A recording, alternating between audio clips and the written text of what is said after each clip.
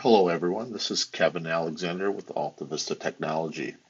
Whether or not you're a veteran or new to Business Central, a lot of time goes into querying data. I'm going to show you a few filter tricks so that you can get to the data that you want quickly. I'm going to start with a few of my favorite tricks with the chart of accounts. Let's take a look. So let's go into our chart. And when we're in here, it presents us the entire chart, right? And one of the things I might want to do is filter this down to maybe just uh, uh, income statement accounts. And so you can do that really quick, and we're going to do that uh, right here in the header, and we're going to come over to income and balance. And uh, I'm going to scroll down here till we find uh, in, an income statement uh, account. So let's pick this guy here. And up here at the top, we'll select the column header and we're going to filter to this value. So now we've filtered for just income statement related accounts. Now, the other uh, trick here is that I may not want to see um, all these accounts, especially those with uh, no balance. So let's filter out uh, accounts that don't have a balance associated to them. We'll come over here to uh, our filter pane icon and uh, let's uh, filter totals here. And uh, so over here in the filter pane, let's filter uh, by balance and uh, we'll select balance and let's uh, select where not equal to and that's that greater than or less than less than greater than sign zero and we'll tab off of that. Now we've filtered uh, our income statement accounts down to just those with balance. Now, the other thing that you might note in here that's a little odd, it doesn't look quite right, is if we look at net change, uh, balance to date, uh, and balance, they're all the same. Uh, and it, the reason is we're not, we haven't applied a date filter here. So we can actually look at these counts for any point in time that, that we wish. So to do that, let's come over here and we're going to filter totals by, and we're going to pick a date filter. Now, uh, most of this data, good data, is back uh, in the spring of 20, so we're going to go ahead and I'm going to filter for the last day of March in the previous year. And when we tab off here, notice what happens now. Now we're seeing net change for uh, March, balance of that date, and what the current balance of that account is. So much more helpful information. And because I like this um, view uh, so much that I'm going to go in and I'm actually going to save this view. And I'm just going to save this as uh, income statement. I'm going to call it point in time. Now, every time I come in here, I'm going to have to update the date filter. But uh, here now, I can go ahead and save that. And so now I've got this uh, filtered uh, view of my chart of accounts. And so we just did three really quick things to get there. Now, uh, for the next uh, tip with filtering, I'm going to pivot over to uh, a customers list. And so we'll select customers.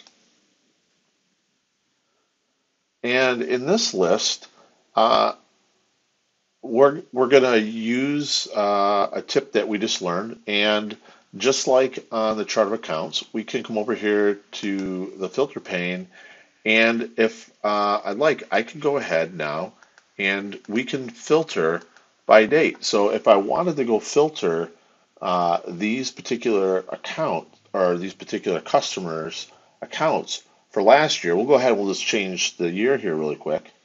Uh, notice now what happened to the totals. So you can see with the lists, right? They're not just provide, you know, presenting, you know, list static information, but this is all very interactive. We're going to go ahead and I'm going to set that back to uh, the 21st. And so the next uh, uh, piece here is let's uh, look at, um, I may want to look for accounts that are blocked. So in other words, ones that we uh, either may not be able to ship or invoice at this time for uh, any particular reasons. So let's go back over here to the show filter pane. And we're uh, used to, uh, in the filters list here, we have these visible fields and we're seeing those uh, across here in our list. But if you notice, if we continue to scroll down, we have all the fields available to us in Business Central. And so one of those, as we scroll down, is going to be blocked. And in blocked, we can go ahead and select the value. So I'm interested in seeing a list of customers uh, that uh, we have on shipping hold currently. And so when I select that list, now my list of customers filters down to it. And if we'd like to, let's go ahead and filter here and we'll call this customers on shipping hold, right? Next time we won't have to go in and, and create that same list. Now let's go back to our uh, uh, list that shows us all customers. And so we'll go ahead and uh, we'll select all here and get the entire list back.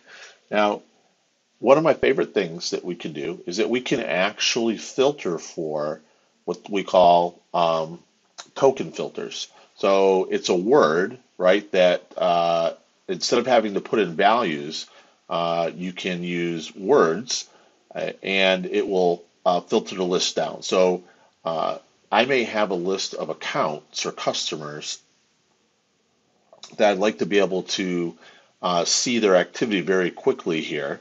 And let's go back over here to um, our filter list. And uh, we're going to go ahead and select the customer number. And in here, I'm just going to use uh, percent, and we're going to call this, this is called my customers. So this is what a token list looks, uh, token filter looks like. And notice it filtered down to these three accounts. So how did it get to those three accounts? Let's, uh, for a minute, let's go back to our um, role center here and we'll take a look at that. So on my role center, if I scroll down, uh, I have a list down here called My Customers, and I can build this list uh, on my on my role center uh, of the customers that I'd like to be, uh, see here, and I just simply uh, select the chevron here, and I can go to Manage List, and I can add and subtract customers as I like. And in Business Central, one of our token filters is called My Customers. So now when I want to look at just those customers in the customer list, uh, all I need to do is uh, type in that token filter. So let's go back to customers one last time here.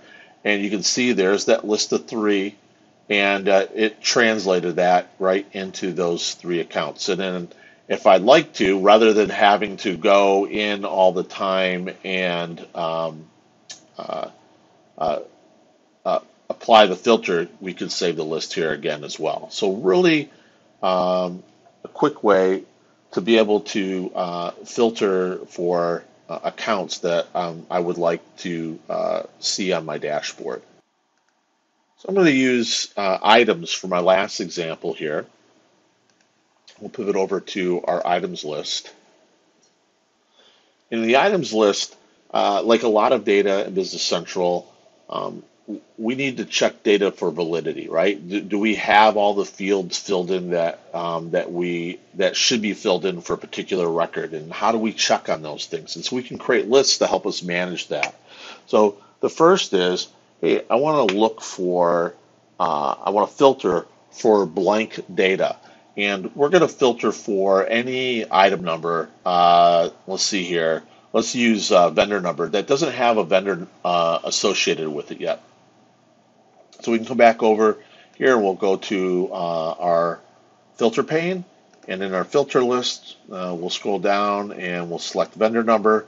And the look for blanks, it's two, it's simply uh, two apostrophes open, so not the quotes. And if I go ahead and tab off that now, now this filters down and shows me the items that do not have a vendor number associated to them. Uh, and so, so I don't have to create that filter again. We're going to call this items without vendor number. And we'll go ahead and save that.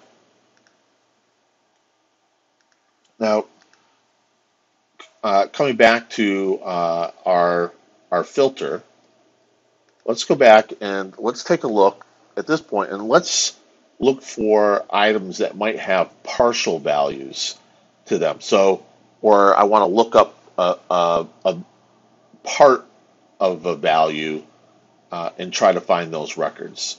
So we're going to use item descriptions for these. These are pretty robust.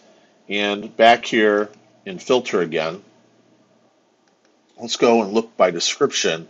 And let's first look for um, you know everything that uh, might have conference in it. So I can uh, select the asterisk and we'll go ahead or let's say let's look for everything that doesn't have conference in it. So uh, doesn't include, right? And here we'll do the asterisk and the conference and close. And we'll we'll tab off of that now.